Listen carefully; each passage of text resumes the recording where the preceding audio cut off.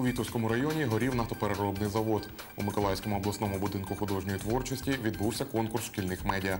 Доброго ранку в ефірі телевізійні новини Миколаївщини. В студії для вас працює Володимир Степанов. Протягом прямого ефіру на екранах ви бачитимете нашу електронну адресу, за якою зможете звертатись до редакції, а також посилання на наш YouTube канал та сторінку у мережі Facebook.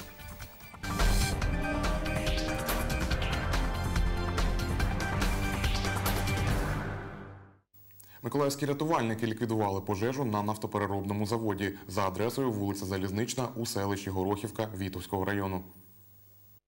За викликом прибули відділення 4 та 16 державних пожежно-рятувальних частин, чергова зміна оперативно-координаційного центру, дослідно-випробувальна лабораторія Головного управління Державної служби з надзвичайних ситуацій в Миколаївській області.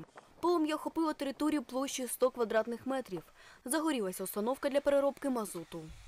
Під час е, вибуху е, отримали опіки 5 чоловік. Е, Карета швидкої медичної допомоги направлені до центральної районної лікарні.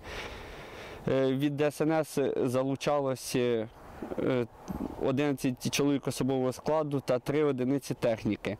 На місці події працювало декілька бригад е, швидкої екстреної медичної допомоги.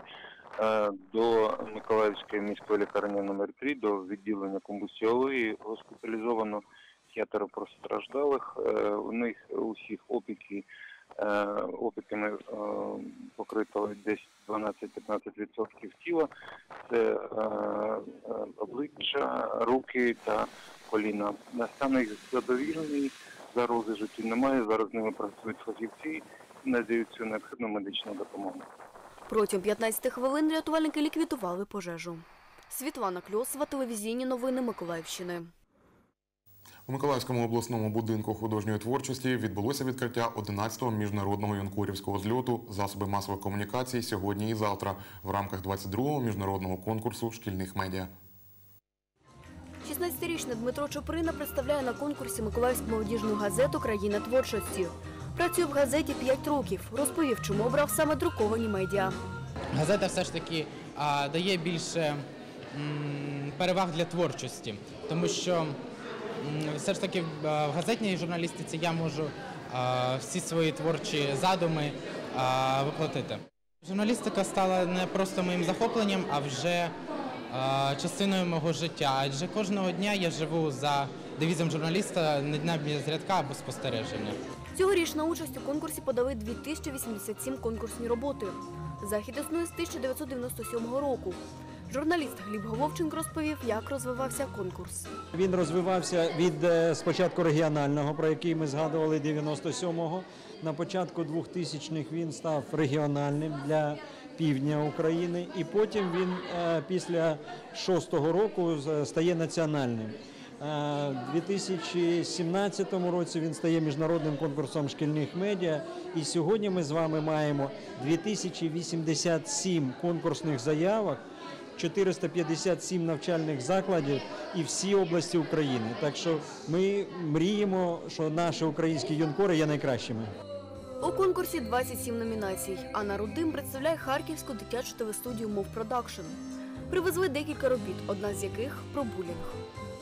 Мама, грозовая туча, все время хмурилась, двигала брови, когда что-то было не по ней, и сверкала глазами, когда солнышко вставало у нее на пути.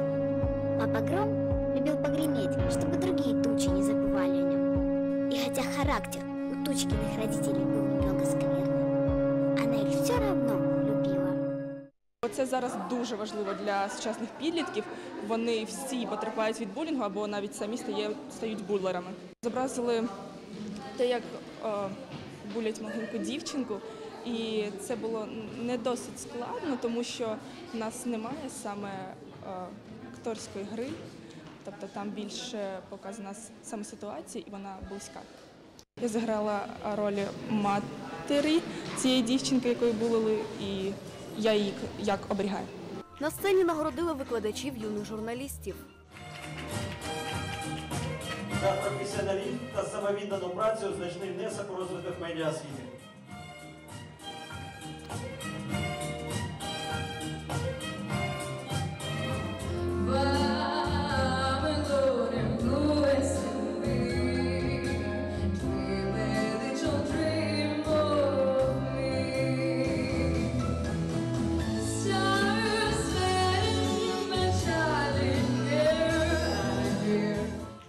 переможцям 22-го міжнародного конкурсу шкільних медіа вручили дипломи. 19 квітня відбулася церемонія нагородження переможців конкурсу. Світлана Кльосова, Ігор Чорний, телевізійні новини Миколаївщини. На цьому у мене все. Далі в ефірі продовження програми Новий день. Наступний випуск новин дивіться о 8.00.